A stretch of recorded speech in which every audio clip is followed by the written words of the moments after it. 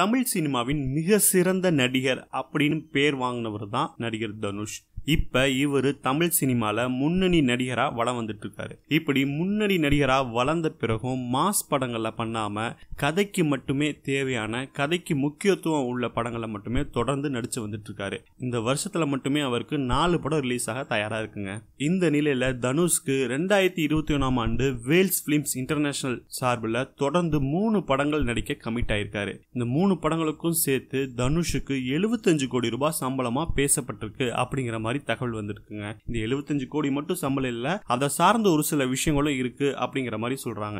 தனுஷ் இதுக்கு முன்னாடி தயாரித்த காலா மற்றும் மாரிட்டோ ஆகிய படங்கள் அவருக்கு கை கொடுக்கல அப்படிங்கிற மாதிரி தான் சொல்லணும். அந்த படங்கள் தனுஷின் தயாரிப்பு நிறுவனத்துக்கு கொஞ்சம் நஷ்டத்தை தான் ஏற்படுத்துச்சு அப்படிங்கிற மாதிரி சொல்லப்படுது. என்னப்பா தனுஷோட தயாரிப்பு நிறுவனம் சின்ன தயாரிப்பு நிறுவனம் தானே? அது எப்படி சூப்பர் ஸ்டார் ரஜினி படத்தை எடுத்துச்சு அப்படிங்கிற மாதிரி பல பேர் அப்பயே கேள்வி கேட்டிருந்தாங்க. அதுக்கு உறுதுணையா இருந்தவர் யாருன்னு பாத்தீங்கன்னா வேல்ஸ் ஃபிலிம்ஸ் இன்டர்நேஷனல் ஐஸ்வரி கணேஷ் தாங்க. ஏன்னா அந்த படத்துக்கு ஃபினான்ஸ் பண்ணவரே அவர் தான் ஆனால் அந்த படம் கொஞ்சம் நஷ்டமாச்சு அப்படிங்கிற மாதிரி சொல்கிறாங்க அதனால தனுஷுக்கும் ஐஸ்வரி கணேஷுக்கும் இடையே ஒரு சில பண பிரச்சனைகள் இருந்துச்சு அப்படிங்கிற மாதிரி சொல்லப்படுது. இதனால தான் ஐஸ்வரி கணேஷ் தயாரிப்புல இந்த வருஷத்துல மூணு படம் கமிட் ஆயிருக்காரு. சம்பளம் மட்டுமே எழுபத்தஞ்சு கோடி அந்த நட்டங்கள் அப்படின்னு ஒரு சில விஷயங்கள்லாம் தீர்த்து வைக்க ஒரு சில விஷயங்கள் பேசப்படதா சொல்லப்படுது. அப்ப ஆக மொத்தம் தனுஷுக்கு இந்த வருஷம் ரொம்ப அதிக சம்பளம் கொடுத்திருக்காரு ஐஸ்வரி கணேஷ் அப்படிங்கிற மாதிரி சொல்றாங்க. ஆக மொத்தம் ரெண்டாயிரத்தி இருபத்தி ஒன்னாம் ஆண்டு இந்தியாவிலே அதிக சம்பளம் வாங்கிய நடிகர் பட்டியல தனுஷும் இணைகிறாரு அப்படிங்கிற மாதிரி சொல்றாங்க. அதே மாதிரி தனுஷ் ஹிந்தியில் ஒரு படம் நடிக்க கமிட் ஆயிருக்காரு அப்படிங்கிற மாதிரி நியூஸும் வெளியே வந்திருக்கு. அந்த படமும் ரெண்டாயிரத்தி இருபத்தி ஒன்றாம் ஆண்டு